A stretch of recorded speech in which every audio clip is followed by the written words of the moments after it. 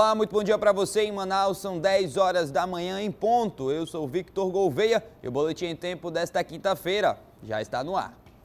Nós começamos a edição do boletim de hoje fazendo um alerta. Essa semana, o caso da empresária carioca espancada por mais de quatro horas por um, por um, rapaz que ela conheceu pela internet chamou a atenção mais uma vez para os cuidados com relacionamentos virtuais. É preciso ter cuidado ao se envolver com desconhecidos. Veja aí na matéria.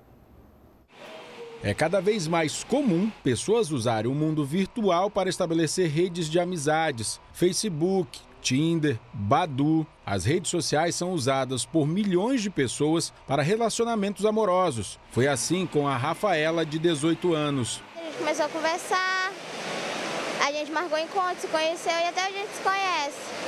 Mas. Mas é, não é arriscado? É arriscado, mas comigo foi tudo bem, graças a Deus. A Paula também já usou bastante aplicativos de relacionamento, mas sempre teve medo de quem estava do outro lado. Eu usei o Badu, mas foi só amizade mesmo. Mesmo não tendo nenhum caso como o da empresária carioca Elaine Caparrós, espancada por um jovem que conheceu na rede social e com quem trocou mensagem por oito meses, a polícia amazonense já registrou situações graves de mulheres enganadas por parceiros virtuais. O caso mais emblemático foi o de uma mulher casada que acreditou ter conhecido um policial do Rio de Janeiro. Segundo a delegada da mulher, ela mentiu para o marido e aceitou passar um fim de semana com o namorado virtual. Quando ela chega lá, aquela pessoa não existe, o nome é outro, a pessoa é outra, ela virou escrava sexual, escrava do tráfico de entorpecentes ali, passou maus momentos, é que ela conseguiu que uma pessoa da comunidade a ajudasse, a ponto ela falar com a família dela que veio me contactar e eu entrei em contato com a delegacia do Rio de Janeiro, do Duque de Caxias, onde conseguiu resgatar essa moça com vida. Essa vontade de se relacionar com o desconhecido não é algo novo. Antes dos aplicativos e das redes sociais, era pelo telefone que as pessoas se conheciam e marcavam encontro. O Disque Amizade, ou 145, era uma espécie de Tinder ou Badu, que as pessoas que cresceram nos anos 80 e 90 utilizavam.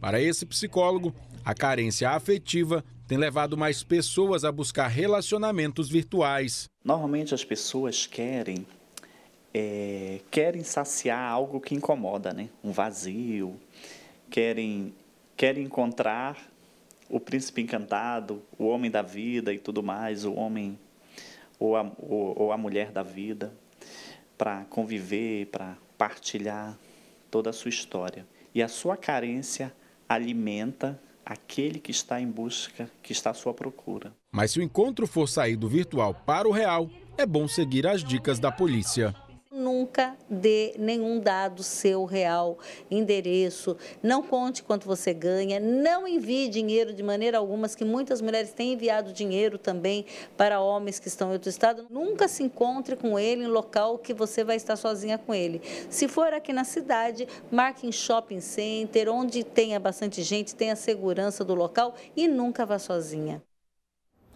É bom ficar alerta aí, pessoal, nas redes sociais. E olha, hoje os taxistas estão paralisando as atividades por tempo indeterminado aqui na capital. Eles exigem do poder público a legalização do transportes por aplicativos para que a concorrência possa a passar a ser leal entre as modalidades. O repórter Bruno Fonseca traz os detalhes para a gente.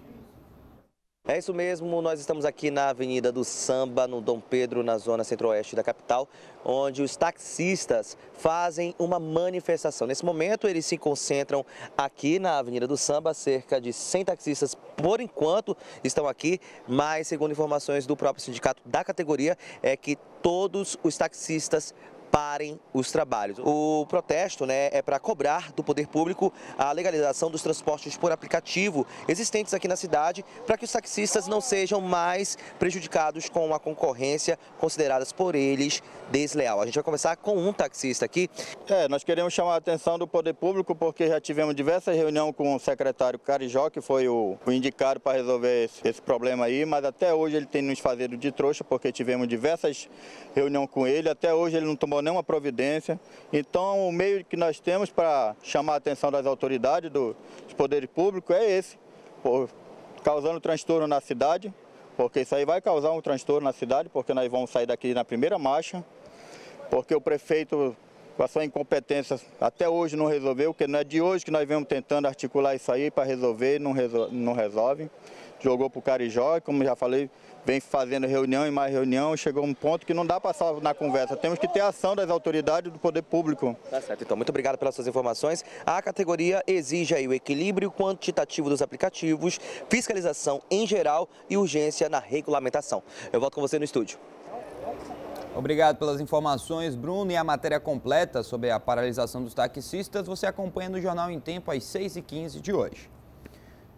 O Procon Manaus fiscalizou ontem diversos postos de gasolina por aumento do combustível na tarde desta quarta-feira em várias zonas aqui da cidade. Eles receberam notificação para apresentar no prazo de 10 dias os documentos comprovando o valor pago pelo combustível. O Código de Defesa do Consumidor veda a elevação de preços que não seja justificada pelo aumento do preço pago pelo produto nas distribuidoras.